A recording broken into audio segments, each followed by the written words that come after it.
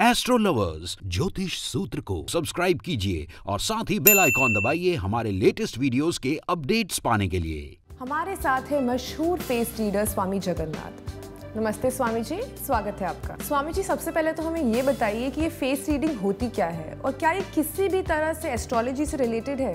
जी हाँ ये रिलेटेड है, परंतु इसका जो शास्त्र है, वो शास्त्र के अनुसार ही है। जीवन में जब कोई कन्या या कोई पुत्र पैदा होता है तो ये शास्त्र बहुत पहले से ही आया हुआ है। परंतु ये अभी अभी समय के अनुसार वो अभी सब लोगों को दिख रहा है।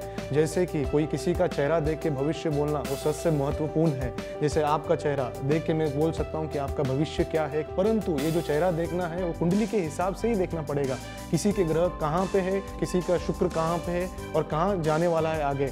या कुछ होने वाला है आपके साथ। वैदिक शास्त्र से देखने गए तो एस्ट्रोलॉजी और फेस रीडिंग एक ही साथ में आता है। परंतु उसका देखने का तरीका जो आता है, वो कुंडली के हिसाब से ही हम लोग उसका वर्णन करते हैं। परंतु फेस रीडिंग जो है, वो एस्ट्रोलॉजी के हिसाब से ही कि आपका ग्रह या किसी का भी ग्रह किस हिसाब से बैठा हुआ है, किस घर में बैठा हुआ है, उस हिसाब से ही हम लोग ये फ्यूचर उसका प्रेडिक्ट करते हैं। लेकिन ये जो शास्त्र है, वो एस्ट्रोलॉजी ही है।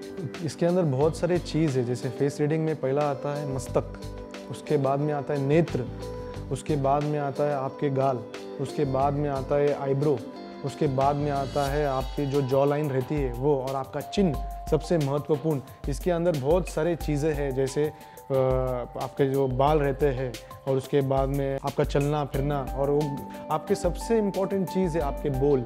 जिस टाइम आप बोलते हो, कैसे बोलते हो, कैसा करना चाहिए, क्या करना चाहिए, किस विचार में पड़े हुए हो, वो सब हम उस हिसाब से, उस हिसाब से हम फेस रीडिंग करते आते हैं।